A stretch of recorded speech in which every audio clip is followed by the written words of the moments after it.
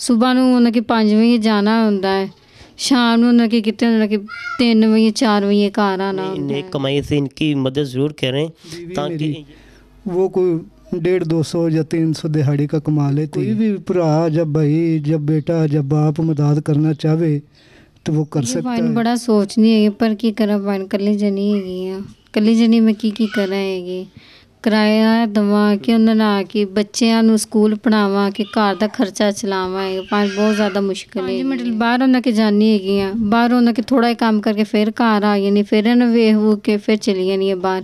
ਇਸ ਤਰ੍ਹਾਂ ਸਾਰੀ ਦਿਹਾੜੀ ਲੰਘ ਜਾਂਦੀ ਜੋ ਵੀ ਅੱਲਾ ਦੀ ਤਰਫੋਂ ਹੋਇਆ ਹੈਗਾ ਕਿਉਂਕਿ ਹੁਣ ਮੈਂ ਜਿਹੜਾ ਕਰ ਬੈਠੀ ਹਾਂ ਤੇ ਮੈਂ ਪਿੱਛੇ ਤਾਂ ਨਹੀਂ ਨਾ ਭੱਜਣਾ ਜਿੰਨੀ ਦੇਰ ਮੇਰੇ ਸਾਹ 'ਚ ਸਾਹ ਹੈਗੇ ਨੇ ਉਨੀ ਦੇਰ ਤਾਂ ਮੈਂ ਦਿਆਂਗੀ ਸਾਥ। ਜਦੋਂ ਫਿਰ अल्लाह की मर्ज़ी फिर अगर वाशरूम च मैं आप लेके जानी है सारी खाना भी मैं खुआनी हैगी सारा काम भी मैं असलम नाजन मैं आपका होस्ट मलिक इमरान इमरान टीवी तरफ़ से आप एक बार फिर आपकी खिदमत में हाजिर लेके रहे हैं। इंतहाई अफसोसनाक प्रोग्राम कि जो एक लड़की किसी की मोहब्बत में गिरफ़्तार होती है और उससे शादी करती है।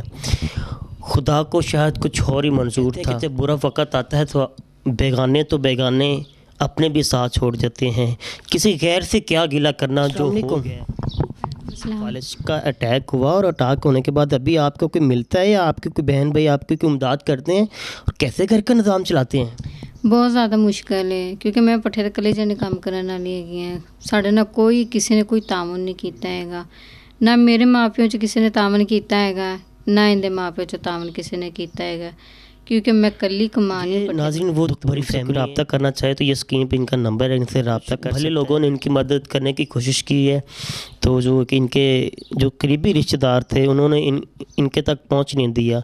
वो अमदाद आई तो ज़रूर लेकिन वो ख़ुद ही खा गए। इनका हक था इनके ये इनका कहना है कि इनके जो मियाँ साहब हैं उनके इलाज के लिए पैसे अगर किसी ने भेजे हैं तो वो उनके पास पहुँचे नहीं हैं। इनका नंबर स्क्रीन पे चल रहा है इनके साथ आप डायरेक्ट रबता करते हैं। ये कब से बीमार है और उनको कितनी देर बीमार हो गया और डॉक्टर क्या कहते हैं? ब्याह तो बाद दो साल बाद इन्होंने फालिज हो गया से। ਤੇ ਹੁਣ ਨਾ 2 ਸਾਲ ਤੇ 5 ਮਹੀਨੇ ਹੁੰਦੇ ਪੈ ਗਏ ਨੇ ਬਿਮਾਰ ਹੋਇਆ ਨੂੰ ਤੇ ਡਾਕਟਰਾਂ ਨੇ ਬੜਾ ਇਲਾਜ ਕਰਵਾਇਆ ਹੈਗਾ ਜਦੋਂ ਹੁਣ ਮੇਰੇ ਕੋਲ ਗੁੰਜਾਇਸ਼ ਨਹੀਂ ਹੈਗੀ ਤੇ ਨਹੀਂ ਮੈਂ ਕਰਵਾਉਂਦੀ ਪਈਗੀ तो आप ये अ, हमारे देखने वालों को कोई सहब हसीियत को देख रहा हो या कोई अ, अदारा देख रहा हो कोई हमारे आला हुकाम देख रहे हैं उनके लिए आप कितने पैसे इनके इलाज के लिए ये चाहिए होंगे तो आप इनका इलाज करवाएंगे और अ, आपको किसी ने पहले कहा है कि हम आपका इलाज करवा देते हैं ਹਾਂਜੀ, ਪਹਿਲੇ ਵੀ ਕਿਹਾ ਗਿਆ ਸੀ ਕਿਸੇ ਨੇ ਸਾਨੂੰ, ਕਿਉਂਕਿ ਮੈਂ ਐਨੀ ਫੈਸਲ ਦੇ ਨਕ ਇੰਟਰਵਿਊ ਦਿੱਤਾ ਹੈਗਾ ਹੈ। ਉਹ ਮੈਨੂੰ ਜਿਹੜੀ ਮਦਦ ਆਂਦੀ ਪਈ ਸੀ, ਉਹ ਮੇਰੇ ਤੱਕ ਨਹੀਂ ਅਪੜਦੀ ਪਈ ਹੈਗੀ। ਤੇ ਜਿੰਨੇ ਵੀ ਮੇਰੇ ਭੈਣ ਭਰਾ ਹੈਗੇ ਨੇ, ਜਿੰਨੇ ਵੀ ਸਾਨੂੰ ਮੇਰੇ ਭੈਣ ਨੇ, ਮੈਂ ਇਹੀ ਕਹਿਣਾ ਚਾਹਾਂਗੀ, ਪਹਿਲੇ ਆਪਦੀ ਤਸੱਲੀ ਵਾਸਤੇ ਜਿਨ੍ਹਾਂ ਨੂੰ ਤੁਸੀਂ ਮਦਦ ਮਦਦ ਕਰਨੀ ਹੈ, ਉਹਨਾਂ ਨੂੰ ਪਹਿਲੇ ਵੇਖੋ ਚੰਗੀ ਤਰ੍ਹਾਂ, ਵੇਖ ਕੇ ਫਿਰ ਪਾਣੀ ਤੁਸੀਂ ਉਹਨਾਂ ਦੀ ਮਦਦ ਕਰੋਗੇ। ਕਿਉਂਕਿ ਪਾਣੀ ਮੇਰੇ ਨਾਲ ਧੋਖਾ ਹੋਇਆ ਹੈ ਮੈਂ ਇੰਟਰਵਿਊ ਦਿੱਤਾ ਹੈਗਾ ਐਨੀ ਫੈਸਲ ਦੇ ਚੈਨਲ ਦੇ ਪੁੱਤਰ ਜਿਨ੍ਹਾਂ ਨੇ ਮੈਨੂੰ ਮਦਦ ਕਰ ਲਈ ਹੈ ਪਰ ਮੇਰੇ ਮੇਰੇ ਤੱਕ ਨਹੀਂ ਅੱਪੜਦੀ ਪਈ ਹੈਗੀ। जी नाजरीन, अगर मैं, जैसे आपको पहले भी बता चुके हैं कि इनका नंबर आप, हम, इनका जो पर्सनल नंबर है ना, हम वो अपनी स्क्रीन पे चला रहे हैं। इनसे रबता करें और आए इनका घर देखें। ये मैं, आप देख सकते हैं कि इनका घर किस तरह का है। कोई बैठने का अच्छी जगह नहीं है, कोई लेटने की अच्छी जगह नहीं है। इनके से अगर इनको देखें, इनका विज़िट करें, अगर कोई इमदाद करना चाहिए इनसे विज़िट करके हम भाई से बात करते हैं कि ये कब से इनके इनके साथ ये हैं। अस्सलाम वालेकुम। वालेकुम सर जी। सर ये कैसे हो गया? आपकी तबीयत कैसी है? ये बस जी अल्लाह की तरफ़ से हुआ है सर जी। दो साल हो गए हैं। तबीयत ऐसे डाउन हुई है कि दोबारा जो है दो साल के बाद चार पैसे चल नहीं सकता। अभी तो हालात ऐसे हैं कि ये मेरी बेगम जो है ये जो कमा ले आती है तो खा लेते हैं नहीं कमाती तो घर भूखे बैठे रहते हैं। आपके कितने बच्चे हैं? बच्चे को स्कूल गैप वगैरह भी जाते हैं या नहीं जाते? नहीं सर जी, इतनी गुंजाइश ही नहीं है कि बच्चे को सपारा पढ़ाने के लिए ले चल निकला दें। और स्कूल की बात तो बहुत दूर है ना सर जी। कुछ पैसे होंगे कोई दाखिले कोई वर्दियाँ, कोई उरे कोई बस, कोई बैग, ये होंगे तो बच्चे स्कूल जाएँगे ना। ये हमारे पास, अपने पास खाने को नहीं है तो बच्चों को सर जी कैसे स्कूल भेज सकते हैं? मेरी गुजारिश ये है कि अल्लाह हर किसी को इज़्ज़त और अमान दे कोई भी भरा जब भाई जब बेटा जब बाप मदद करना चाहे तो वो कर सकता है। अपने बच्चों का मुस्तकबिल जो आगे जो बच्चे सुधर जान। और मेरी हालत तो आप भाई देख ही रहे हैं कि जैसे मेरी हालत है। दो साल हो गए इसी तरह चारपाई पे बैठ जाता हूँ लेट जाता हूँ।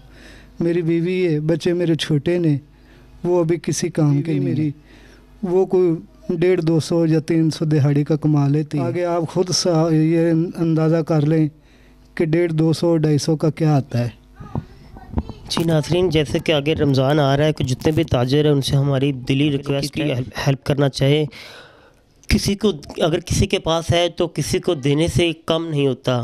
अल्लाह ताला इन इस जैसों की अमदाद करने के लिए हर किसी को तोफ़ी अता फरमाएँ नेक कमाई से इनकी मदद ज़रूर करें। ताकि हमारे बच्चे हैं हमारे इनके छोटे छोटे बच्चे हैं इन बच्चों का अच्छा एक मुस्तबिल बन सके और कोई इनके इलाज के लिए भी चलो कुछ अगर कोई अमदाद करना चाहे या हमारा अल्लाह हुकाम या कोई अल्लाह उदारा हमारा प्रोग्राम देख रहा हो तो उनसे वसील उनके वसीले से इनका कहीं अच्छी जगह पर इनका इलाज की अगर कोई हामी भर लें तो हम उनके शुक्रगुजार बार फिर रिक्वेस्ट है कि इनके साथ अगर कोई रबता करना चाहे या इनका कोई इलाज करवाना चाहे या आगे रमज़ान आने वाला है ईद करीब है, अल्लाह ताला हमें नसीब करे रमज़ान।